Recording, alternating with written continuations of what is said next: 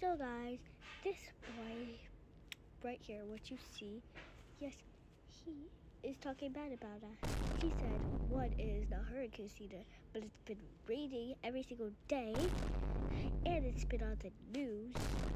And if you don't believe the news, sometimes you should.